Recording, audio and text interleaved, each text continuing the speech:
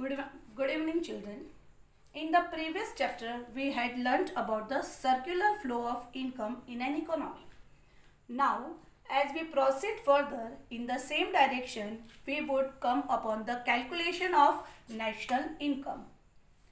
National income of our economic, but before calculating national income, we must go through some basic aggregates and concept related to national income of an economy. There are three basic concept of the national income and its aggregate. Its related aggregates, there are main three components or three factors. First is the domestic territory, second is normal resident and third is the citizenship. जब भी हम national income calculate करते हैं हमें ये पता होना चाहिए कि हमारी इनकम नेशनल इनकम में कैलकुलेट हो रही है तो क्यों हो रही है that is a basic reason behind it first domestic territory what do you mean by the domestic territory in general we are talking about the domestic territory that is our political frontier or our political boundaries. That is our real concept or real mindset of this. But economic point of view it means the political boundaries of a country. But this is also the political boundaries mentioned here but not only in outside of the country also what do mean by the in and outside of the country in simple terms अगर हम देखते हैं तो domestic territory हम India में रह रहे हैं।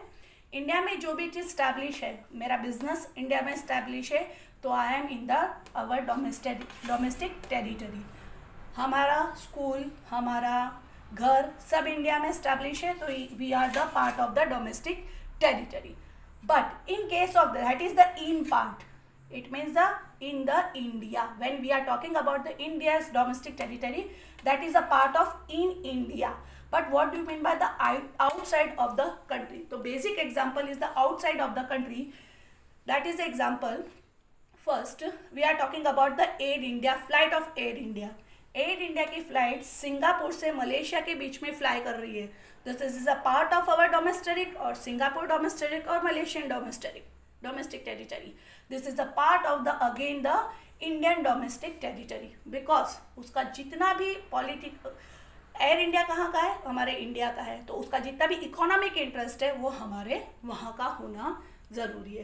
So that is the outside of the country country के बाहर है। हमारी एयर इंडिया की फ़्लाइट सिंगापुर और मलेशिया के बीच में फ्लाई कर रहा है। But also this is a part of the our domestic territory क्योंकि वो स्टैब्लिश एयर इंडिया कहाँ है? इंडिया में। तो India is our domestic territory that is our political frontier और our political boundaries it also includes the ships and aircrafts aircrafts just like अभी हमने example देखा शिप्स एंड एयरक्राफ्ट्स का कौन सा एग्ज़ाम्पल देखा हमने? Air India and second embassies है ना?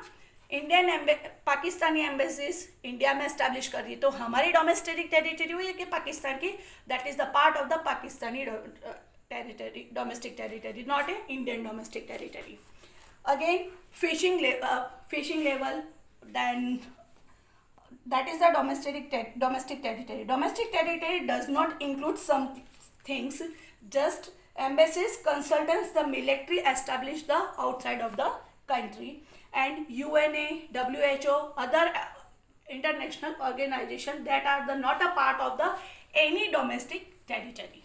Second is the normal resident. Who is the normal resident of the India?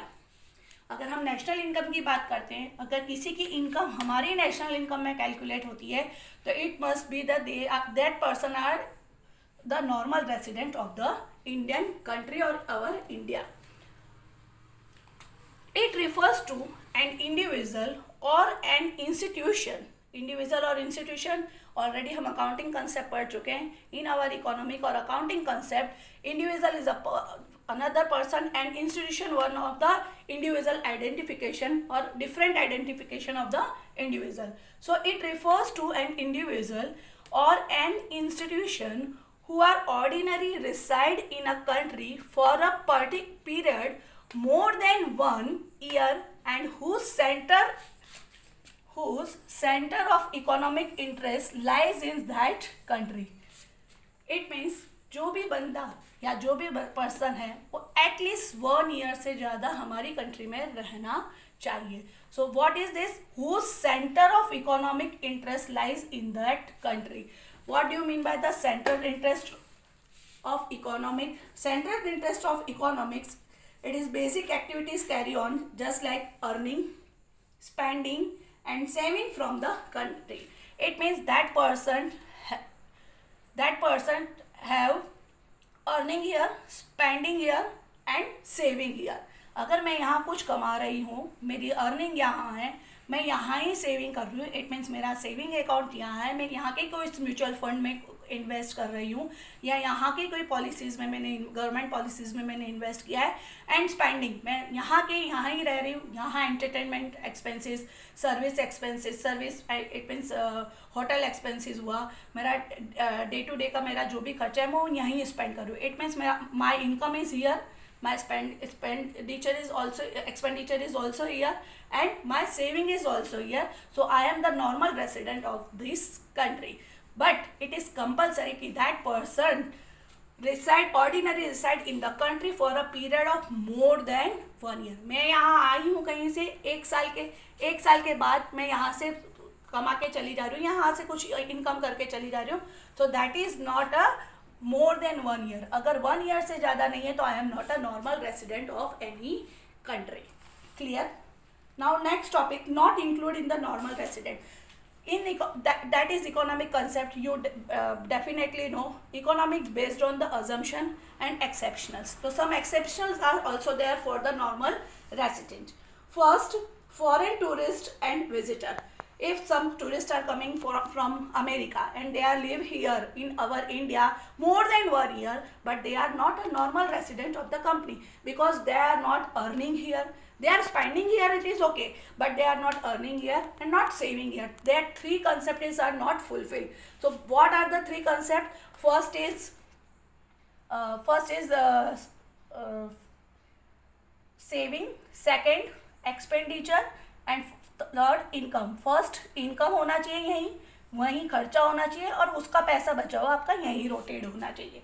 ये तीनों कंसेप्ट अगर फुलफिल नहीं होते तो you are not a part of the normal resident of the any country fine so tourist are not not a part of the normal resident second international organisation जैसे domestic domestic territory में हमने देखा U N O W H O उनको कहीं का भी normal resident shift होता नहीं है। Third is the foreign staff of embassies located in the given country it means America की एम्बेसीज के लोग अगर हमारी टेरिटरी में रह रहे हैं इंडिया में उनके पास हमारी डोमेस्टिक टेरिटरी में वो लोग रह रहे हैं यहाँ ही उनका इनकम हो रहा है एक्सपेंडिचर हो रहा है। अब यहाँ रहेंगे तो भूखे तो रहेंगे नहीं खाना भी खाएँगे। सो so, यहीं यहाँ एक्सपेंडिचर कर रहे हैं। और सेविंग माइंड बाई चांस यहाँ के किसी इन्वेस्टमेंट में वो सेविंग भी करते हैं but still they are not a part of our normal resident Next, foreign staff of embassy located in the given country that is again uh, done and employees of the international organization are considered as resident of the country to which they are belong.